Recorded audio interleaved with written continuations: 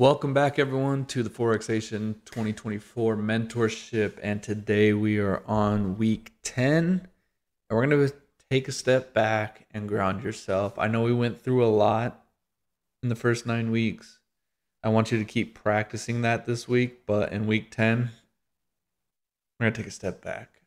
Every time I take a step back, it's usually when I'm starting to get frustrated with the markets or I could see that I'm not waiting for my setups or my rules to play out and I'm getting anxious when I take a few days off of trading. Trading will always be there for for now. We don't we don't know what the future holds, right? But it's going to be there next week, right? So take a couple days off, regroup yourself, get your mind right, and that's what we're going to talk about today. So, if you haven't already, click the subscribe button, click the thumbs up, and let's get into it. So, first things first, you need to know hey, you're not a profitable trader, right? You're not, I mean, take that back.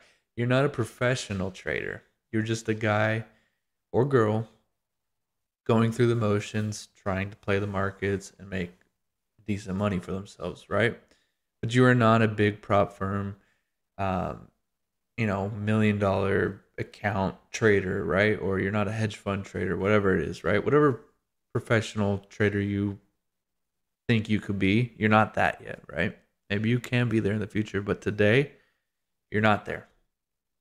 So don't expect huge profits. That's the biggest killer of mine in the past, creating accounts personally funded or through prop firms. I always expected a huge profit which just wasn't the case. Like if the goal is to make, you know, 1500 or 2000 on the account, you're to have to do it in increments. You can't just do that in one trade because even if you get lucky one time, you can't do that over and over again, right?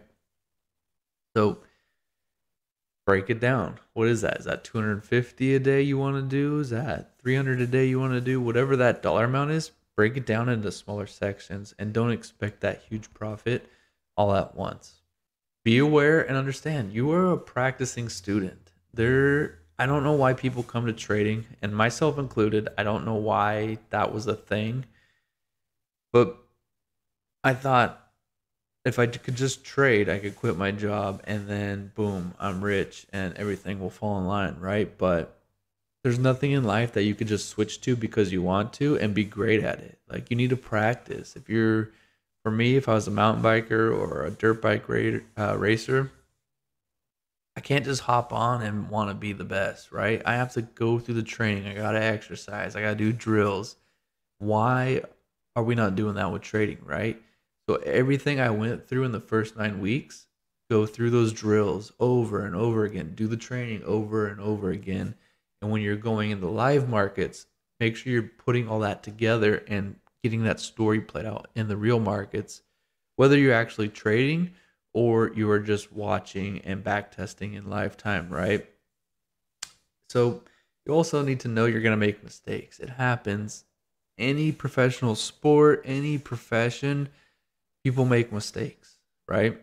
And it's part of the process because you slipped up or there was something new to learn, that's why you made a mistake. So look at that mistake. What can you learn from that? And don't make don't let mistakes just be a mistake. Let them be a, something to learn from and grow from. And that's going to help you keep pushing forward because you're not afraid to make mistakes because you know if you make a mistake, there's going to be a lesson waiting for you to learn and make sure you're a better person. And it's it is okay. Like it's it's a process. There's people who um, we're gonna just stick on the sports talk. There's professional athletes that reach the top and then fall down, and then they got to rebuild themselves back up. Right? There's no one that just kind of goes straight up. Right? It's always up, down, up, down, up, down. But we want to make sure between all those ups and downs, we're slowly growing up throughout the process. So it's okay to make mistakes. You're practicing. You're not a professional. You're not going to have big 100K days. It's okay. Everything's okay. And that leads me to the next point, which is surrender to the process.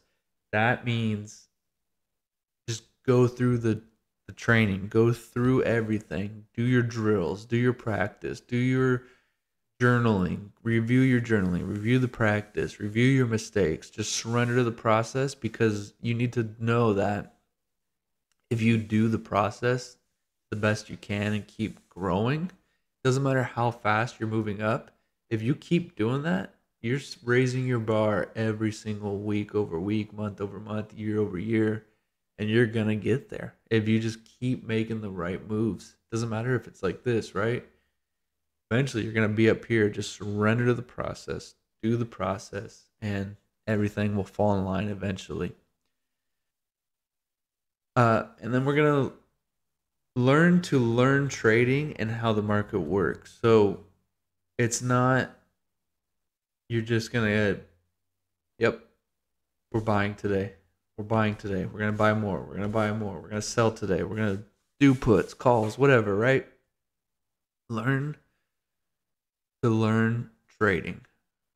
And what that means is you could watch videos and get all this information in your head, but if you're not learning to learn, and that means you're taking that information and learning why, how the market works with all this information you're given, and then learning in the charts with all this information, you're not it's not going to stick and you're not going to have that muscle memory and you're not going to have that confidence if you're not just learning and then relearning it while being live in the charts or back testing, right?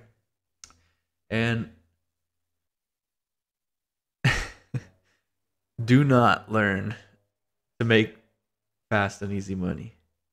It's it's not fast and easy because even though I do take trades as low as 15 minutes and I'm making 250 $300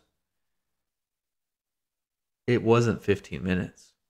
It was me looking at the charts before I started trading that day, that night, reviewing the session, and ultimately all those training videos I went through, all the training drills I went through, all the journaling I went through, all that equaled that 15 minutes of making that much money, right?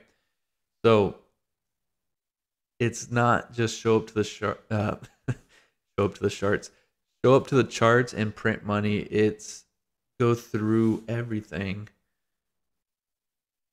And when you do get in the trade, it may be quick, but remember yourself, it's not that quick money. You did so much work before throughout the day, previous day, the week, month, years of studying that led to this quick money today. So don't get blinded by quick money.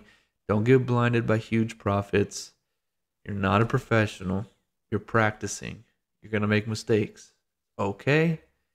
Just trust the process, surrender the process, do your work, learn how the market works by being in the charts personally with what you learned from what you took notes on, the video you watched, this mentorship. You need to be in the charts, relearning everything yourself because that's ultimately going to make you the better trader. So, this week is just regrounding yourself, getting your mind straight, and then we'll get back into developing your skills in the next week. So, subscribe if you haven't already, click that thumbs up. Hope this helped you out. It's a little shorter video, but you got nine weeks of training before this that you could keep going through the motions, surrender to the process, and learn to learn, right? So, hope you all have a good one. See you in the next week. Peace.